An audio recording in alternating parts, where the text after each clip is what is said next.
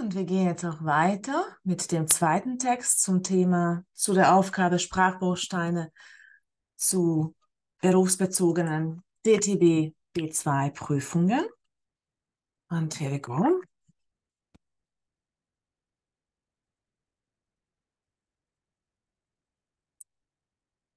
Oh, das ist jetzt nicht das. Okay, kein Problem. Das ist jetzt eine allgemeindeutsche B2-Prüfung, sehe ich gerade. Das ist der informelle Brief. Das ist dann ähm, Tag B2, Allgemeindeutsch, also nicht DTB.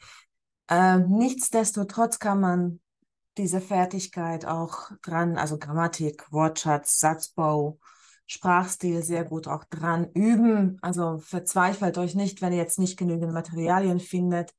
Ähm, wir haben zwar oder es gibt zwar schon mehr Bücher auf dem Markt, zum Glück.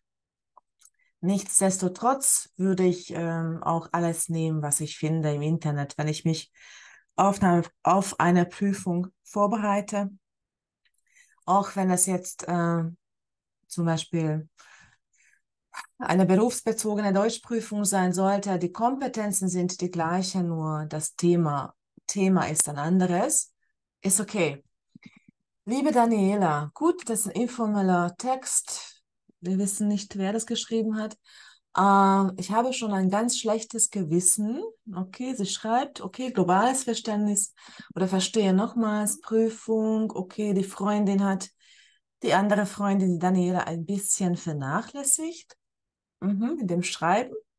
Okay. Und sie will sag mal, die Anna will jetzt mit Daniela nach London fahren oder fliegen. Okay, here we go. Ich habe schon ein ganz schlechtes Gewissen, denn mhm, wollte ich dir schon vor zwei Monaten schreiben. Denn. Denn ist eine Konjunktion mit Position 0. Das heißt, das ist alles richtig. Wollte steht an Position 2. Jetzt brauchen wir etwas. Es muss nicht unbedingt das Subjekt sein, denn außerdem eigentlich oder überhaupt. Außerdem wäre eine Aufzählung. Überhaupt passt hier nicht, denn überhaupt, das ist eine, ähm, das hat eine andere Bedeutung. Denn eigentlich, ne, eigentlich ist ein restriktives, ein einschränkendes Adverb, denn eigentlich wollte ich dir schon vor zwei Monaten schreiben. Aber du weißt ja, wie das ist, wenn man sich auf eine Prüfung vorbereitet. Aha, genau, wenn man sich auf eine Prüfung vorbereitet hat, jetzt fehlt uns das Subjekt. Wer hat? Hat man überhaupt keine Zeit mehr für seine Hobbys. Alles dreht sich nur noch ums Lernen. Okay, folgendes, und das ist immer wichtig.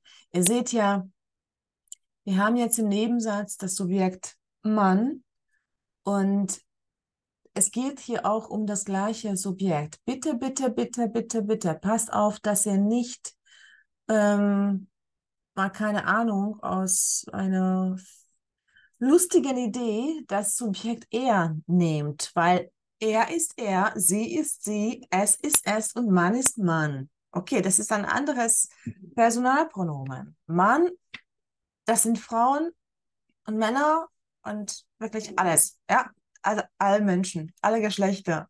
Okay, MD, MWD, WMD, DWM, alles Mögliche. Vielleicht auch die Aliens, wissen wir noch nicht. Okay. Uh, also wir bleiben beim Mann, wenn das im Nominativ ist, ja. Und das ist ja Nominativ, weil ja das Subjekt brauche. Nun habe ich es aber geschafft. Ah, guck mal, okay, überhaupt, ja, was, was ist die Bedeutung von überhaupt? Und hier überhaupt, also gar keine Zeit, ja, also das hätte hier zum Beispiel überhaupt gar nicht gepasst, ja, gar nicht, gar nicht wollte, also das passt irgendwie überhaupt keine Zeit. Ähm, das ist eine, ein steigendes Adverb, okay?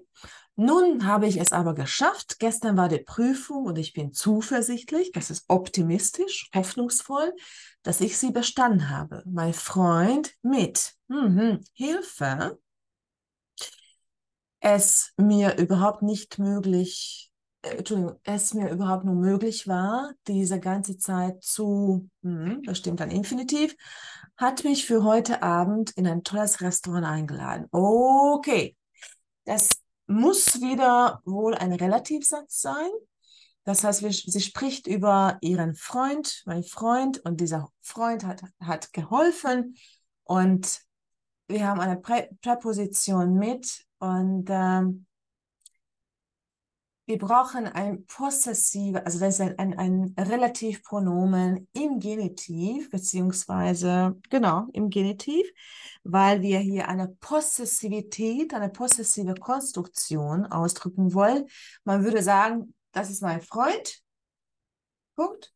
Mit seiner Hilfe hätte ich die Prüfung gar nicht bestanden, zum Beispiel. Okay? Aber sobald wir uns in einem Relativsatz befinden, sozusagen, oder einen Relativsatz machen, dann kommt das äh, Possessivpronomen seiner, ihr und so weiter weg. Das können wir da hier nicht mehr benutzen. Wir brauchen ein Relativpronomen im Genitiv, ne, mit, und das ist ein Mann, mit der, dessen, seiner geht, wie gesagt, nicht, dessen, ja, dessen Hilfe es mir überhaupt nur möglich war, diese ganze Zeit zu, na was, übersetzen? Nein, ich kann ja nur Texte übersetzen. Überstehen, ja, das heißt, eine Zeit überstehen, eine schlimme Phase oder eine Krise überstehen, das bedeutet, ähm, noch bis zum Ende lebendig bleiben, also nicht irgendwie in Depression äh, zu, zu geraten oder nicht sterben oder was auch immer übertragen kann man, kann man äh, zum Beispiel Daten ja, aus dem einen Dokument ins andere, whatever. Oder ein, ein Fernseh, ein, ein Fußballspiel übertragen, ja. Also über, zu überstehen. Hat mich für heute Abend in ein tolles Restaurant eingeladen. Danach gehen wir auch noch tanzen. In dem letzten Brief hast du mich gefragt, mhm, Okay, hier kommt eine Frage, sind Zweifel oder eine Frage. Jetzt kommt eine indirekte Frage. Ich Lust hätte. Bei indirekten Fragen, wenn das jetzt, ähm, genau, da gibt es zwei Möglichkeiten. Entweder ist es ob oder eine W-Frage, wann ich Lust hätte zum Beispiel oder wieso ich Lust hätte. Ähm, oder eben ob ich Lust hätte Hättest du Lust? Hast du Lust? Ja, gucken wir mal, was uns angeboten wird. Genau, ob. Ob ich Lust hätte, mit dir zusammen ein Wochenende in London zu verbringen. Natürlich habe ich Lust. Nach dem ganzen Stress, Stress der letzten Wochen fände ich es super, mal ein paar Tage lang mit einer Freundin etwas Tolles zu, na, unternehmen, verbringen oder verplanen. Etwas Unternehmen heißt das. Das bedeutet etwas machen. Und hier steht ja auch etwas, etwas Tolles zu unternehmen. Das braucht ein Akkusativobjekt. Verbringen, das passt zu Zeit, Zeitform, äh, also das Wochenende zu verbringen zum Beispiel, oder drei Tage in London zu verbringen. Ja? Und verplanen, ich bin schon verplant, da habe ich schon ein anderes Programm. Also Tolles zu unternehmen. London ist eine wunderbare Stadt ich habe schon viele Berichte darüber gelesen. Ich würde mich mh, besonders mh, die Tate Gallery und das Filmmuseum interessieren. Aha, okay.